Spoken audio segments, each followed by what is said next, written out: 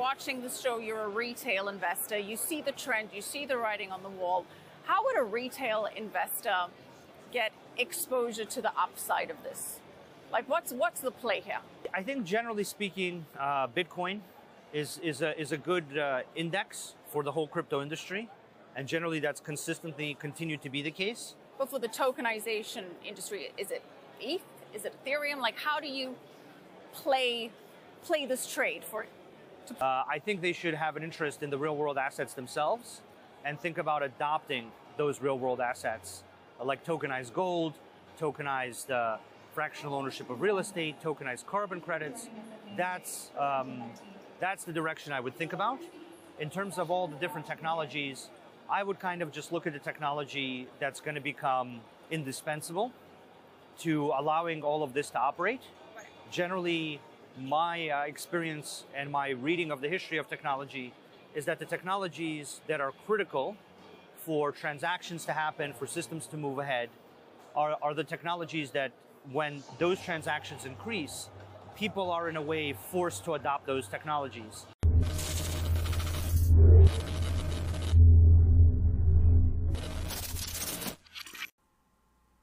Welcome digital asset fans. I have a special video in store for all the utility coins talked about on this channel. Huge changes to the financial system is upon us, and those that have been paying attention know that networks like the XDC network, Stellar, and XRP Ledger, just name a few, are primed to tokenize everything. Tangible assets being tokenized in a distributive ledger is a huge opportunity, and those who are invested in these technologies are about to thrive. We're going to hear from Sergey Nazarov, who says that all transactions are headed to the blockchain. Now, before I play this clip, watch it all the way through to the end because that's where it gets good. He's asked a question from host Michelle Makori on what would an investor put their money into. He first started to say Bitcoin, but then she asked him, what about the tokenization? He states the assets themselves, but also, but also the technologies that will be tokenizing the assets for payments. It's a very informative and educational clip. He's a brilliant man. He talks about smart contracts, real world asset tokenization. He even mentions DTCC, Euroclear, and Clearstream that are going to be leveraging these technologies for tokenization and payments.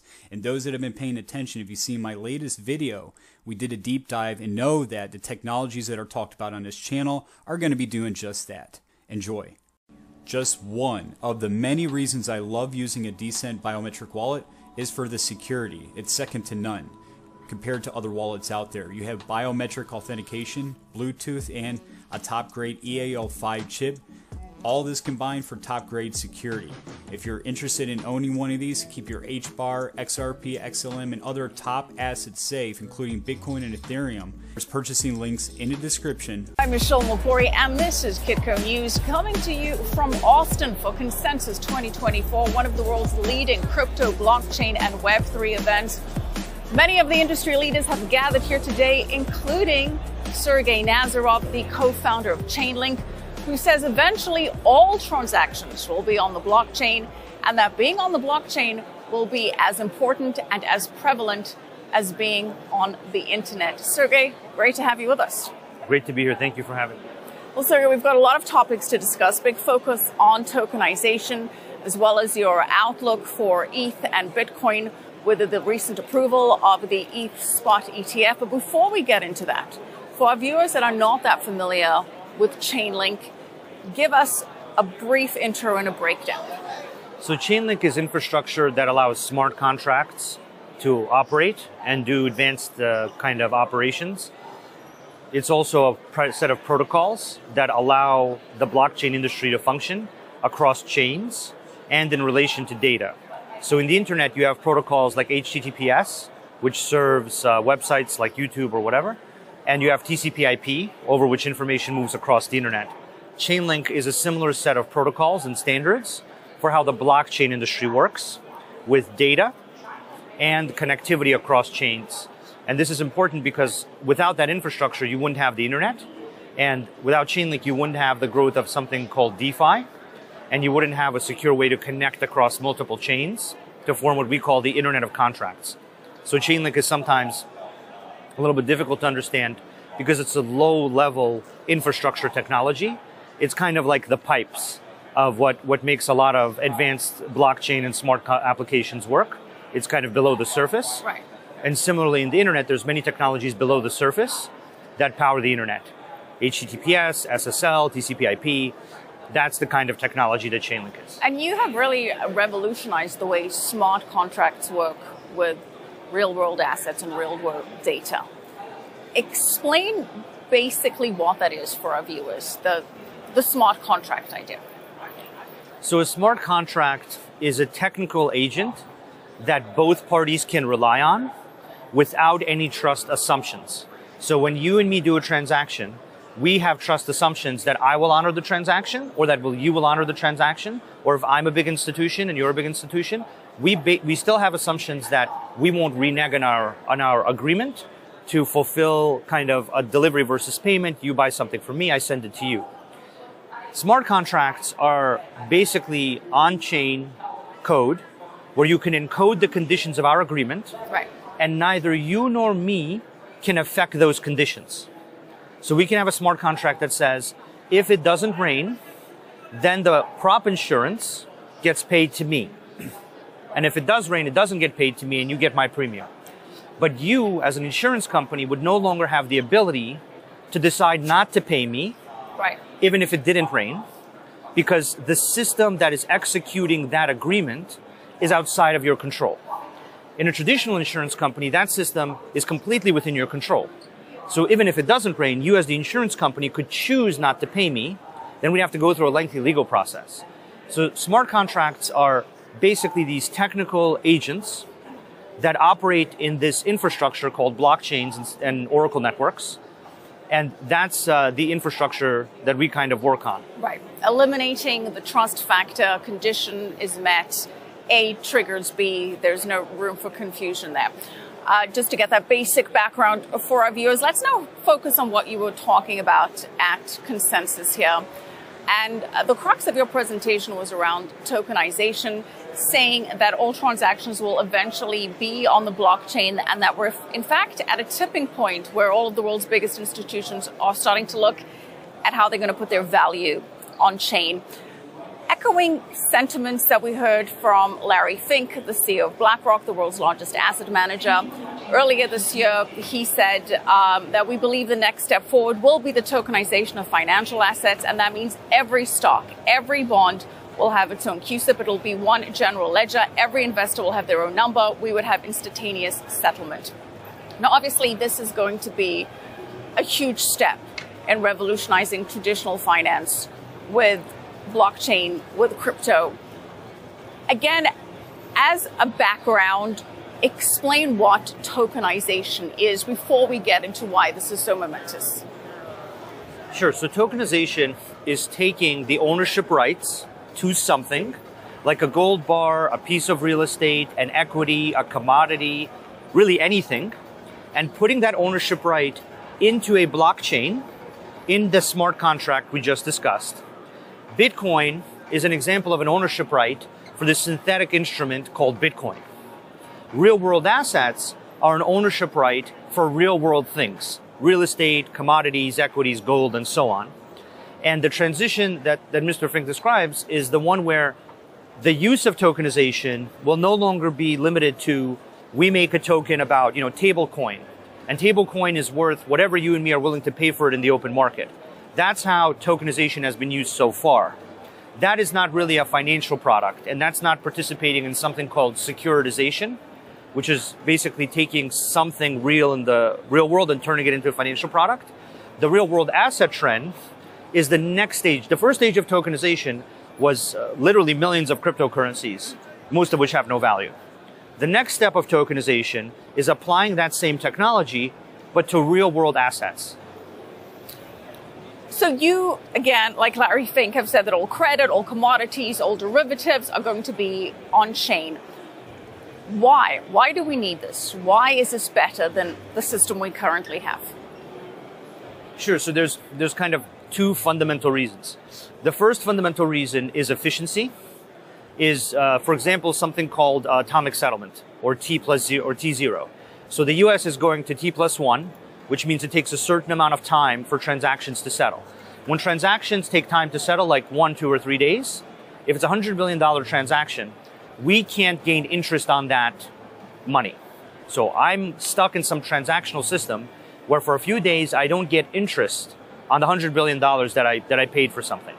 And even a few days of four and a half, five and a half percent interest on $100 billion is a lot of money.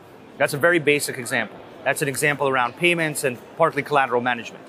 So the first thing is that people like, like Larry Fink are mired in all kinds of legacy problems that cost them literally hundreds of millions of dollars about how to rebalance their portfolios, about how to buy and sell assets, about how to receive payment, about how to prove things to people like the NAV, the, the valuation of the fund. These are esoteric middle office and back office problems, which the average person has no interest in because it's not their job, it's not their problem. But these problems are worth hundreds of billions in fees and complexity and risk. And, and that's one of the reasons people like him are so excited because if you're, you know, a craftsman doing something and you had one tool and someone gave you a much better tool, you're excited about that. So that's one, one level of kind of why it's very important. And that's one of the big driving reasons why the DTCC, Clearstream, Euroclear, basically the three biggest uh, clearing and settlement systems in the world are, are now actively talking about transitioning to this model. The other side of it is market demand, right? So the ability to tokenize things has, has two really great properties to it. The first one is if you tokenize traditional assets, money market funds, treasuries, you, you basically put them on chain, and then there's a market that wants to get them on chain because they can use them as collateral. So they can use them to back things on chain. And this is what people in the on chain world have been doing or trying to do for many years. They've been trying to create baskets of assets that are controlled in a private key based way. So traditional financial instruments are more attractive on chain because people want to own them on chain in a direct way where they control the asset just like they control a Bitcoin. Then there is net new assets. Net new assets are like tokenizing real estate for fractional ownership of a multi hundred million dollar building. Tokenizing private equity funds where you would have had to have 5 million to get in, now it can be at 10,000. Tokenizing carbon credits, tokenizing municipal bonds, tokenizing even gold that you can then go and redeem that gold in person against a cryptographically guaranteed token that you control, right? So then there's this whole category of net new assets that are not currently in the financial system, but once you tokenize them, tokenization is just a better, efficient, more efficient way to put them in the financial system.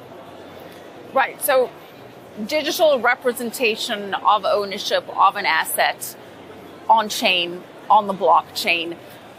And how big do you anticipate this market to be? Hundreds of trillions. I, just take every market. Take the gold market, the real estate market, the debt market, the derivatives market, the securities lending market, all of these, all assets. What, what's fundamentally happening is you have a new, you have a new format for assets, for, for ownership, and also for the data associated with that ownership. And the data is now appended to it in a way that proves things to you about the underlying asset. So the last time there was this type of transition was in like the 60s and the 70s, where people transitioned from paper to basically databases. Right. That was the last time that value, all the world's value used to be on paper.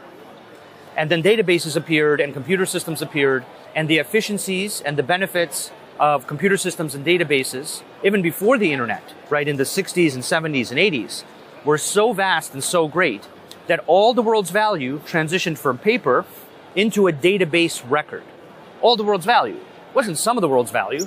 You don't have any piece of value right now that you own other than whatever you have in, you know, your house somewhere that isn't in a database.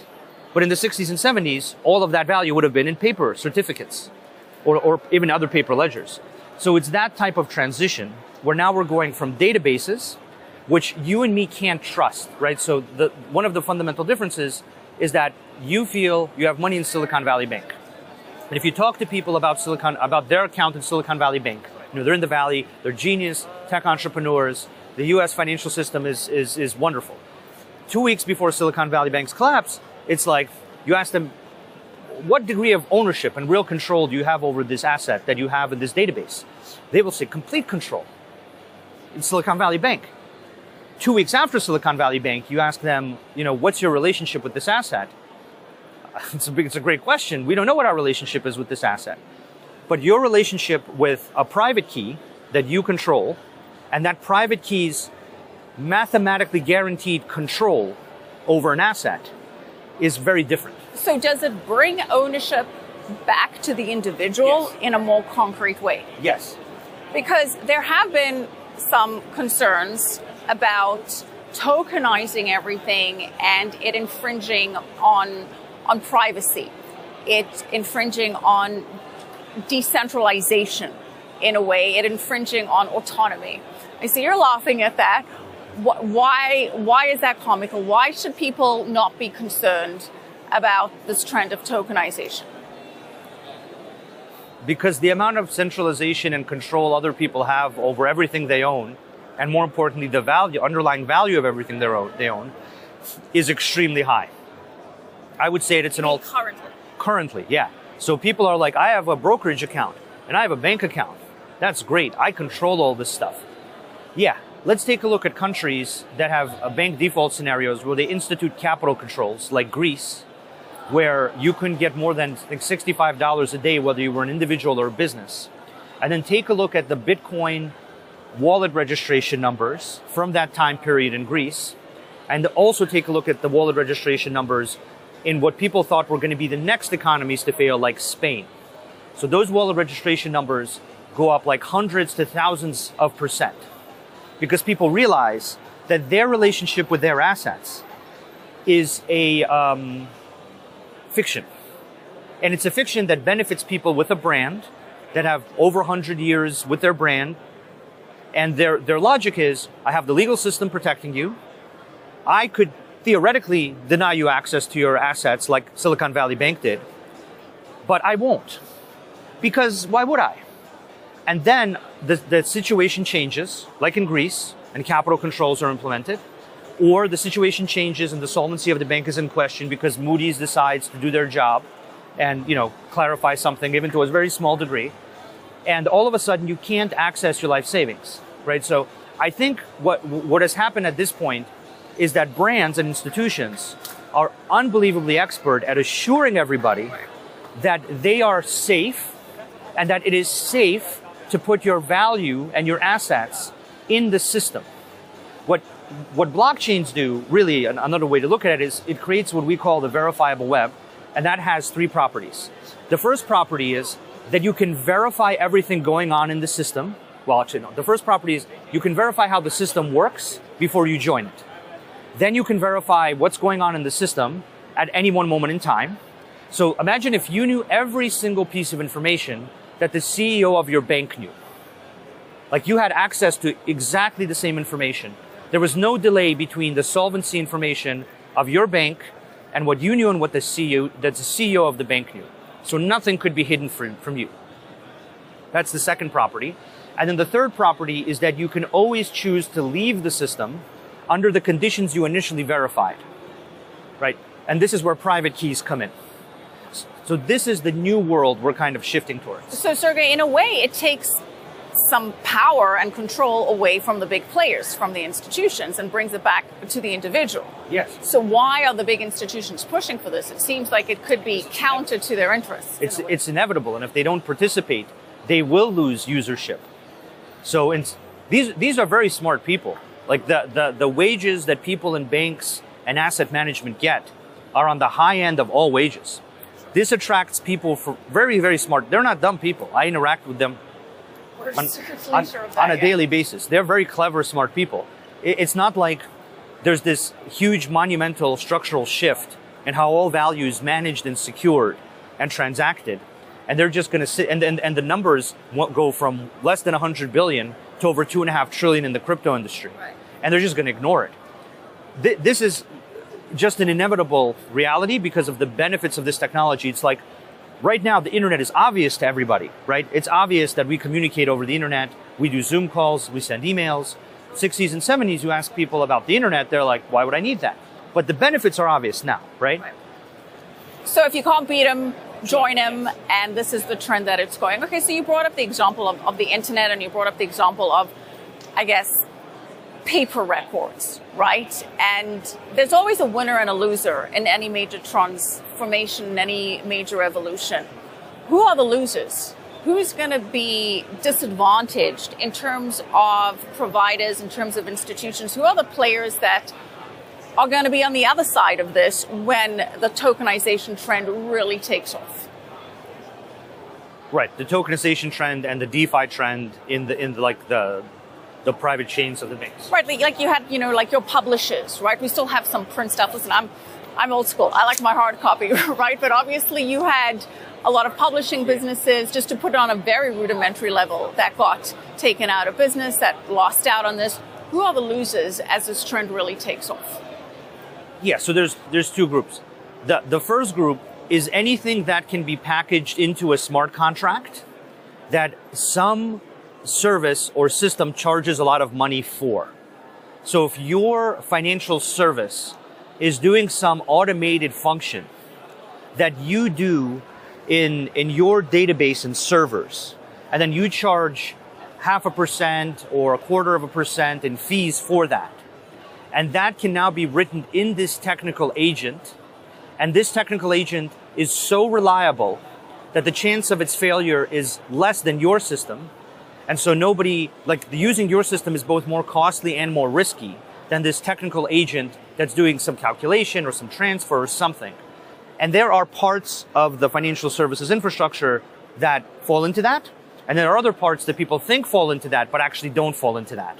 And this is where a lot of people are confused about who will be displaced and that there will be, like everyone will be displaced. Everyone will not be displaced. There will be parts of people's financial services infrastructure offerings that are replaced by smart contracts, and there will be parts of what they do that will actually become more valuable in certain ways. How would a retail investor get exposure to the upside of this? Like, what's what's the play here?